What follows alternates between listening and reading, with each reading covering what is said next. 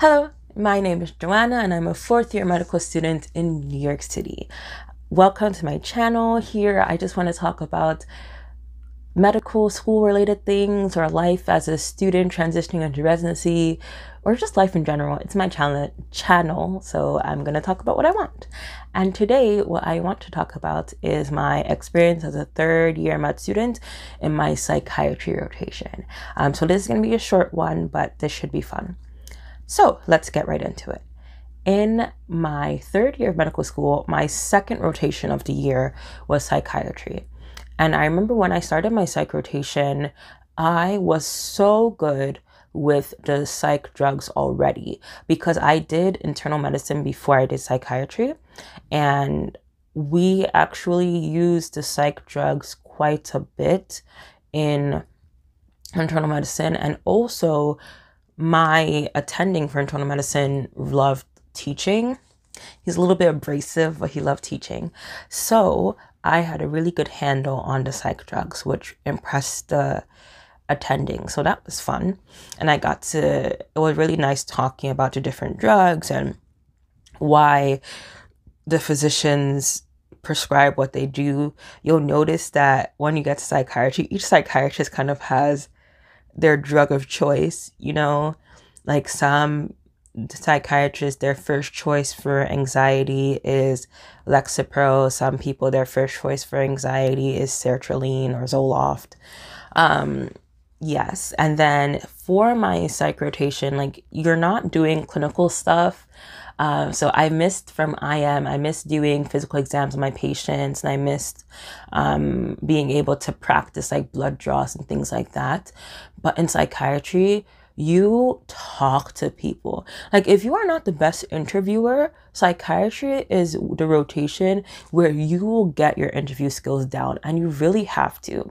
Um, and you really have to make sure that you're going into your interviews very respectfully, um, very cautiously, very supportively, because these patients are struggling oftentimes and they're kind of going through things that it's like, you know, when someone has diabetes, you can see like their blood sugars or A1Cs. When someone comes in as a trauma and they have like a gunshot wound or they have like a broken leg, you can see that.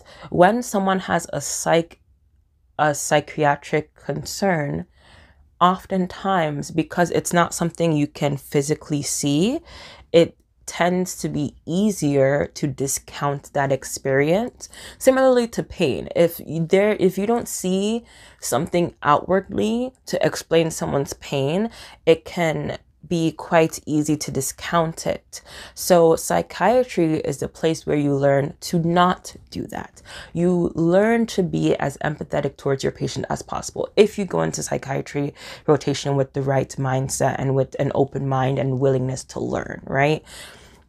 especially so my rotation was in the borough of New York City where I live. And so a lot of the patients are not white. So they're Latinx, Black, Caribbean, um, African, they are Asian. And we have so many patients from so many backgrounds that are minorities in the US. And so I identify with that patient population very heavily.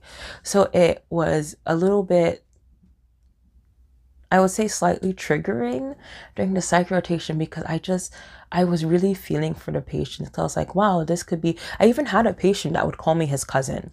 Um, he was like, oh my gosh, you remind me of my, cousin. So I'm to call you my cousin, um, which was fine, absolutely fine. And it was really nice. But just having that connection and that relationship with my patient, it made it so hard to see what they were going through and to sometimes see where their illnesses were being discounted or when they would end up in jail rather than in the hospital where they should have been. I think New York City, as far as I know, in this the area where I did my rotation, is really good about having NYPD escort people who are acutely having a crisis, like a mental health crisis, to the emergency room as opposed to to prison. And that also includes like acute intoxication, whether it's um, with marijuana or like PCP, where you become a little bit more belligerent, or if it's crystal meth. Um, oftentimes, when the police are called, if the these patients are deemed that they need medical assistance, they are brought to the ED as opposed to going to jail. So I do like that. Um, uh, when I was in psych ED, so actually, let me begin where in my psych rotation, it was normally eight weeks before the pandemic. For my year, it was six weeks. The two weeks that were removed were the two neuro weeks. And what we did was we did neurology online before we started the clinical year. So in my six weeks of my patient, my rotation, I did a month of inpatient psychiatry. We, there were two psych wards in the hospital, so I did two weeks on one, two weeks on the other. And then the last two weeks of that six weeks, I was in the psych ED at the hospital. Um, the other option that you could have done for the rotation was consults. So there's a psychiatrist who does consults within the hospital. I didn't get to do consults, but I actually do have a psych elective for my fourth year. So I'm hoping that I'll be able to do consults during that elective. So in my two weeks of psych ED, you actually saw a lot of drug use in the ED there were PCP and crystal meth, and there was a time when there were a lot of people coming in with cocaine or mm, so yeah. There was actually a few patients that were young black boys so like young african boys who could be friends of my brothers or friends of me or like could be my brothers who are coming in after having smoked marijuana and having a psychotic break, a psychotic episode. Um, and what we thought may have been the first presenting signs of possibly schizophrenia. And for anyone who's interested, there is kind of a link between schizophrenia and marijuana use. But I think, as far as I understand the topic, I believe is kind of a what came first, chicken or the egg thing. Is it that marijuana is kind of precipitating the schizophrenia and kind of a two hit theory and like you have the genetics and then you add the marijuana and then you have um, schizophrenia or if it's the other way around whereas the you're having the prodrome and you're becoming symptomatic and then you're self-medicating with marijuana to kind of keep those symptoms at bay. So it like it's actually more of a, a, a confounder as in these patients are more likely to use than as opposed to because of use um, you're kind of turning on the genes for it very interesting topic if anyone is, wondering but i did see two um, young african boys and that it just it hurt my heart. It hurt my heart who are in the hospital um, and but their families were so supportive which sometimes our parents tend not to be as understanding of psychiatric issues. But the families of these two young boys were so supportive I was so happy and it gave me so much hope that there is love and there is understanding in our communities um, where psych- psychiatric issues won't be so mismanaged as they are now. Anyway, I went off on a whole tangent there. But that was an interesting part of my experience in the psych ED. Um, and the main thing that I was doing in the ED was I would interview a patient, but more oftentimes it was supervised. Um, and then most of what I did actually was calling for collaterals. So, what is a collateral? If you liked the show House MD, you will love the idea of collateral. So, you know how in House he would send the residents to like were they residents? I don't even know. But he would send the doctors to like go and investigate stuff. Like they would go to the patient's house or blah blah blah. So with the collateral, you're actually calling roommates, you're calling parents, you're calling siblings of the person who was in the ED to kind of figure out to see more of the picture of their um, mental illness because when they come to the ED, you're just kind of seeing a snippet. So the people that you call to give that collateral um, collateral history are telling you more about how this person has been doing outside of this episode. So it was really, really interesting. And you also get to learn that illness often affects whole families, not just an individual. Whether it is uh, mental illness, whether it is things like chronic illness like diabetes, whether it is um, devastating things like cancer, it affects groups of people. It affects everyone who is within that sphere of the person they love who is going through that illness. And so I remember calling for collaterals and having mothers crying on the phone, having people on the phone talking about how when they're doing good, they're doing so good. Why is this happening to this person? And it was so like emotionally taxing. And I think one of the things that can be tricky is for myself and for other medical students who are a bit younger. So I'm going to graduate at 25 because I went to a BSMD program.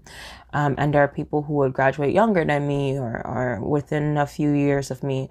Um, and sometimes, if you don't have as much um, experience in these situations, in talking to people and empathizing with people and in allowing people's experiences to take space and kind of keeping that safe space and that sacred space for people to process and go through and release. Oftentimes like calling for collateral was such a cathartic moment it is really a big thing to know how to be there for the patient. And I think sometimes if you're younger, like I started my rotation, when I started my rotation, so when I did that rotation, I was a few months out from 24. I just turned 24. And that could have been a lot for like a 24 year old who doesn't have as much life experience or as much experience with kind of talking to people um, being empathetic towards people, understanding different perspectives and lifestyles. Um, so I think if that's you, if you're someone who's a little bit more sheltered to the experiences of people, psych is a time to really explore that and to come into the situation with humility and to come into the situation open and ready to learn and to kind of keep your preconceived notions at the door when you come into it so that you can really gain the experience that you're there to gain and learn to be as empathetic as possible because your patients need that. Um, so it was it was incredible that experience just being able to call for collaterals. And obviously because you're a student you have time. Like if you're the resident or you're the attending you don't have all that time to spend just on the phone because you have patients to see you have orders to put in there are there are other things to to that take place within the hospital. So the privilege of being a student is having that time so that you can spend that 30 or 45 minutes on the phone collecting a collateral or comforting a, a, a parent or a friend or a sibling. So that was nice. Um, other things about the rotation people kind of think of psychiatry as the easy rotation. I don't necessarily think that. I think it's just a different type of rotation and you're, you're there to gain different skills. So kind of go in ready to gain those skills and go in trying to be as uh, the best version of yourself for your patients oftentimes if you're someone who is struggling with mental illness yourself i mean we're in medical school a lot of people are going through things some people have diagnosed anxiety depression all these things taking medication and etc maybe you've been um, in inpatient psych maybe you see a therapist or you have a psychiatrist. It can be very triggering. So make sure that you are taking care of yourself outside of this rotation. Um, I think any rotation can be triggering, really, like if you're dealing with illness, but um, especially psych if you're dealing with mental illness and particularly if you unfortunately have the experience of seeing people who aren't able to navigate the healthcare system as well it can be very triggering and a little bit depressing. So take care of yourself in your psych rotation. I felt like the shelf was really straightforward. Um, i just read the pages of psych and my first aid. Um, I watched the Sketchy Pharm videos just for a refresher. I I started watching and like I think if you're a third year, you know the Emma Holliday videos. I don't believe I watched one for psych. It may be outdated at this point in time. Divine intervention. I don't know if he has a psych. If he does have a psych shelf review, I didn't. I did watch it. I did watch the psych shelf review. I'm not sure if it's up to date, but I would suggest it because I did watch the Divine Intervention one. I didn't watch the Emma Holliday one. I started to and I noticed that it was out of date. So if you are looking for a shelf review video, like an all-encompassing shelf review video, I would say in this case probably divine intervention over emma holliday just because psych is something that like all of medicine it's it's constantly updating so you have to make sure that your study resources are the most up to date um yeah and then i did UWorld questions and that's how i passed the shelf and yeah, so that was my experience with psychiatry. It was really fun. Um, and so I hope that I have a similar experience going into my elective. Thank you for watching this video.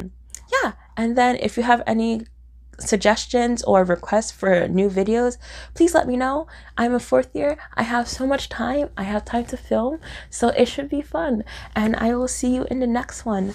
Bye, friends.